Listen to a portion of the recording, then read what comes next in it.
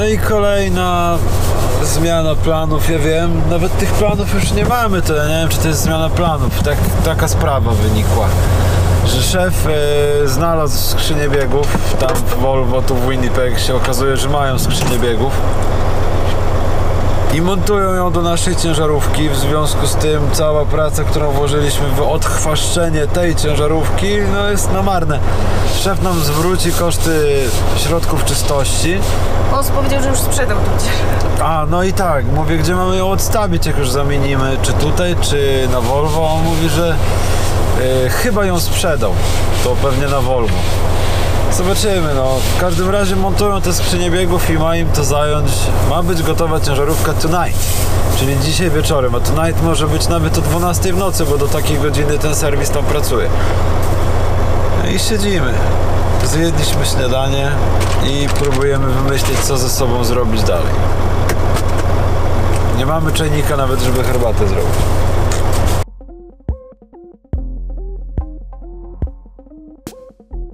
Wróciliśmy sobie z wyprawy po mieście, bo nie mamy co robić. Na razie odpoczywamy, nie jedziemy w trasę nigdzie. Więc pojechaliśmy sobie do Kostko. Kilka dni temu wykupiliśmy sobie tam kartę członkowską. A do Kostko poszliśmy właśnie ze względu na naszych widzów, bo poradzili nam. Aaaa! Musiałam tutaj przejść. O, krótsza droga, żeby przejść do ciężarówki. No, nasi widzowie polecili nam właśnie ten sklep. No i kupiliśmy parę fajnych rzeczy. Co nam się przyda. Tu słodycze, to naszej rodzince wyślemy. O, takie zakupy zrobiliśmy na drogę. Wiemy już, że, że jutro jedziemy w trasę z roll tightem, czyli coś nowego, czyli z flatbedem, z plandeką. Więc kupiliśmy sobie trochę mniej zdrowego jedzenia mrożonego y, właśnie w kostko. Nie mamy pojęcia, czy to jest smaczne, czy to nie jest smaczne, ale to wygląda na zdrowe dosyć, bo tutaj takie, nie wiem, kurczaki, makarony, ryże, kasze, coś takiego. Także kupiliśmy trochę takiego jedzenia. Kupiliśmy dużo bananów, bo to tanio i zdrowo. No i na spróbę kupiliśmy skarpetki jakiegoś Kirklanda, koszulki. Zobaczymy, co to, czy to dobre jest. Jakaś kompany. A Czarek wziął sobie koszulkę Bencha. No i zobaczymy, jak to będzie się zachowywało w praniu. Banany kupiliśmy słodycze, to naszym rodzinkom wyślemy paczki na święta. Dobra, pizzę wzięliśmy. Jestem zaskoczona jakością, e, jakością produktów w, Costco i ilością, w jakich ilościach sprzedają. No, jest nieźle. Teraz tu Czarek przyjdzie, to mi pomoże. Czarek zamyka bramę. No, się okazuje właśnie, że jutro Jutro jedziemy już w trasę, nasza ciężarówka jest już gotowa, zamarza minus 20 ponad. Nasza ciężarówka jest już zrobiona, tylko jeszcze muszą zrobić road test, który zrobią jutro. Ej, rano chyba już wyruszymy w tą trasę, nie wiem, ale zamarzam. Straszny mróz. Głęboki śnieg. Ja nie odłączam tego akumulatora. Nie ma co. A, tu się tak przychodzi. Boże, zamarza. Eee.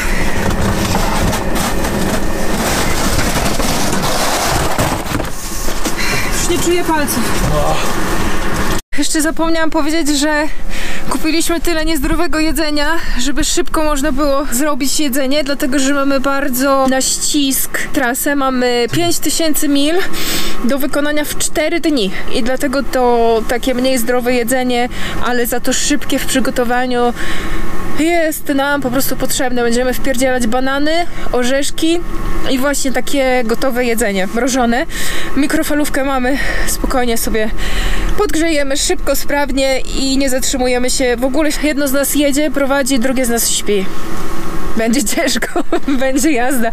I oby ciężarówka się nie zepsuła, to uda się nam i dojedziemy na miejsce. Dzisiaj dzwoni do nas boss i mówi, że w końcu jest dla nas robota. Wyjazd do Teksasu, później na pusto na Florydę i z Florydy ładunek do Winnipeg.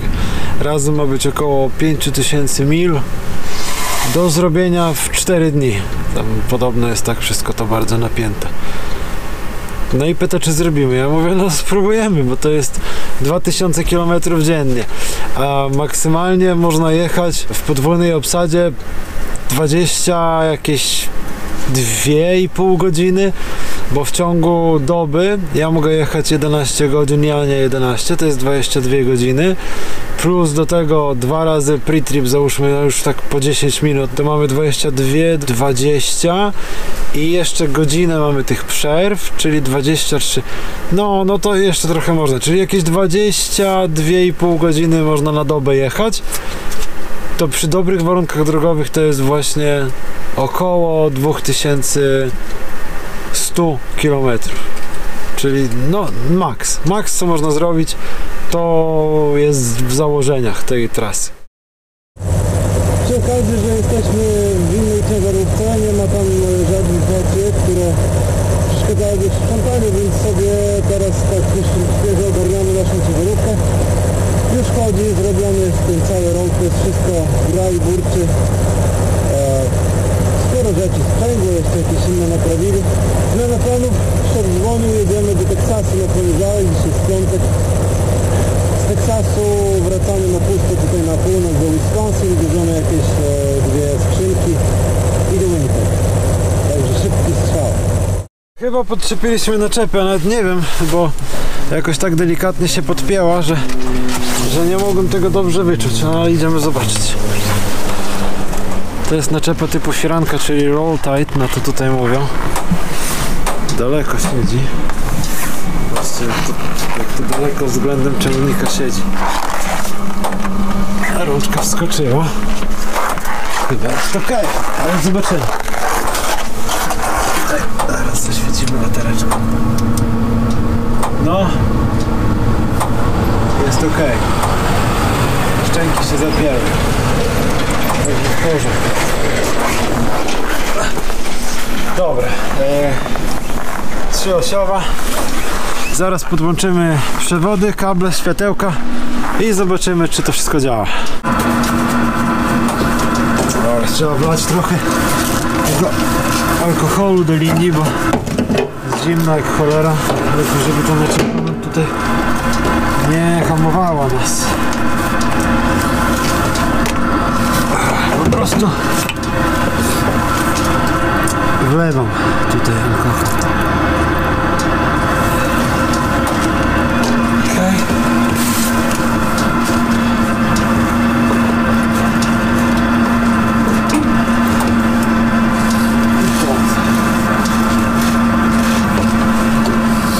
Kable podłączyliśmy, tu jakieś światełko jest. Na górze są z obu stron. Te nóżki muszę podnieść. Co my tu mamy?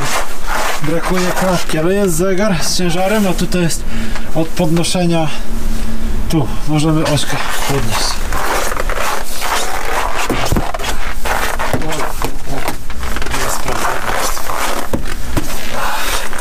Jest kurde szersza, nie? To jest to. Tutaj widać, ona jest sporo szersza. Nie jest gabaryt, ale ale jest szersza od naczepy takiej zwykłej albo od flatbeda. Dobra, tutaj mamy system przeszkolił mnie wcześniej to pracownik system całego odpieczania i tak dalej nie ma kamerek po prostu napięte dobra. Ja tu z boku jest, jest, dobra. Wygląda, że światło działają, drzwiczki są o minus 20 super. Taka instalacja z przodu ciężarówki. Nie mamy tego winter frontu a przy tych temperaturach lepiej sobie coś takiego założyć, ciężarówka ma cieplej. Ech, dobra, nogi do góry i powoli się ogarniamy. Czasu mnóstwo.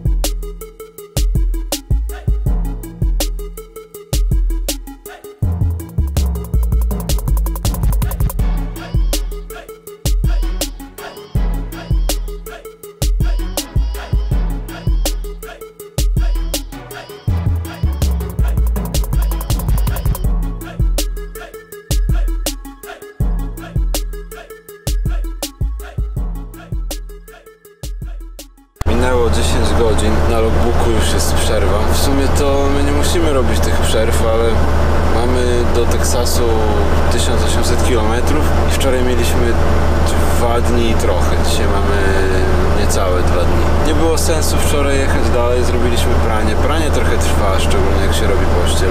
No i ja już jestem wyspany, ciężarówka chodziła całą noc, bo było wczoraj 30 stopni mrozu, teraz jest trochę mniej, jest 24.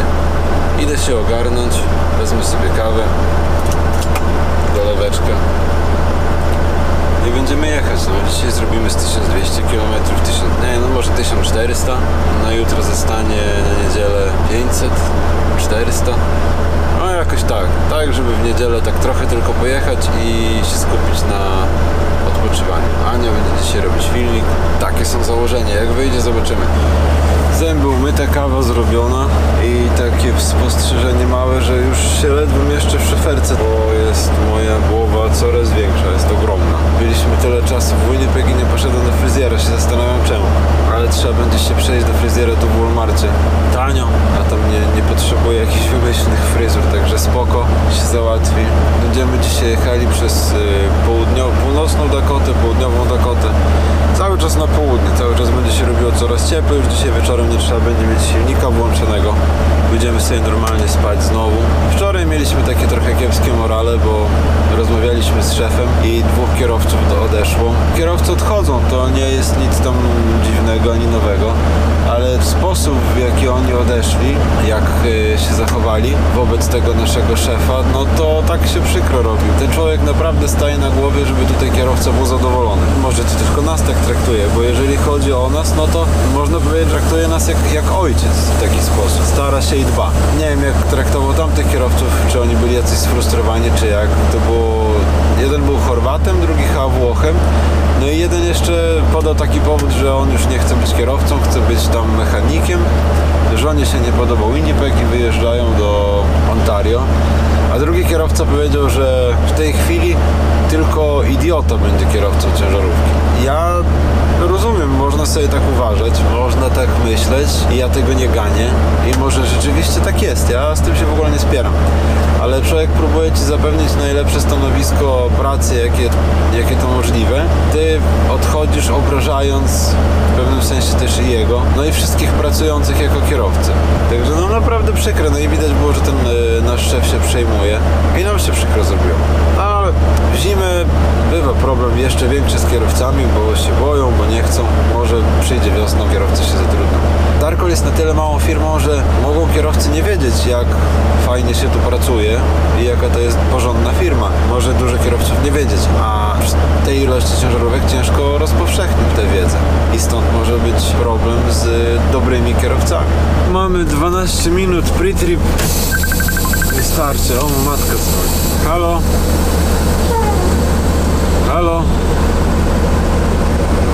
No cześć.